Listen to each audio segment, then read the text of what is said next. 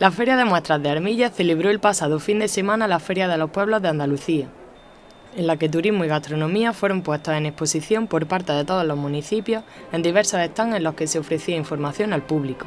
Albolote presentó su oferta gastronómica y turística en el stand ofrecido por el Consorcio de la Vega Sierra Elvira, en un discurso ofrecido por el alcalde del municipio, Salustiano Ureña, y el concejal de turismo, Juan Manuel Ocaña tras la presentación de varios vídeos organizados por la Concejalía de Comercio y Turismo de Albolote.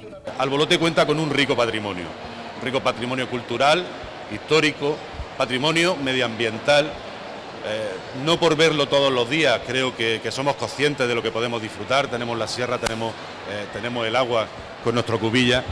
Y la verdad es que para nosotros poder difundir eso, que nos ayudéis a difundir eso, es lo importante. De lo que se trata es de que Albolote tenga una buena imagen y nosotros siempre tiramos de ellos porque la verdad es que beneficia ya no solamente a, nuestra cultura, sino también a la imagen del pueblo de Albolote cada vez que salen con su repertorio. Después de las intervenciones y la presentación del municipio, la banda municipal de Albolote realizó una actuación en movimiento por los distintos pabellones de la feria, concluyendo la misma en el stand del consorcio, donde el ayuntamiento de Albolote invitó a los asistentes a un pequeño ágape de agradecimiento.